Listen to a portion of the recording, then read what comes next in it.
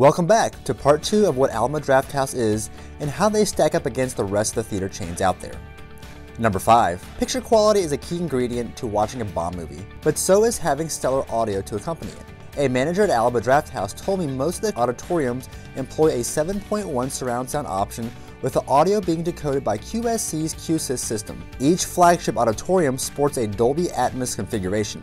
The auditorium sporting the Dolby Atmos configuration used Dolby's CP850 computers to decode the audio stream. Number 6. Loud audio is awesome during action scenes, but it sucks when you can hear the movie playing in the next room. Here too, Alamo Drafthouse doesn't skimp out. The theater walls are built to STC 65 standards. This includes making sure there are no wall penetrations between theaters for plumbing, electrical, or HVAC needs.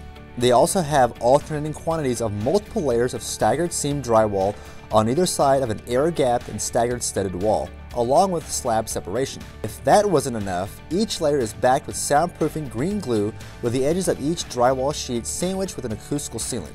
The walls are finished with an acoustic insulation material followed by the drapes to give it the final finish. Number 7. We all get a little restless when we sit at home watching a movie on our couch or tablet while laying in bed. People at Alamo Drafthouse thought the same thing and put some of the comfiest recliners in the world in all of their viewing rooms. While reclining seats aren't anything new in cinemas, the fact that every single auditorium has reclining seats is pretty cool. With the reclining seats comes above average service. Every auditorium has on-call servers who can bring you any beverage of choice and a plethora of customized meal options. Alamo Drafthouse is only the third theater chain I can honestly say I've been very impressed with. I can tell by talking to them that it's evident the management is passionate about giving moviegoers the best possible moviegoing experience. I've included a link to their webpage in the description below in case you want to see if there's one near you.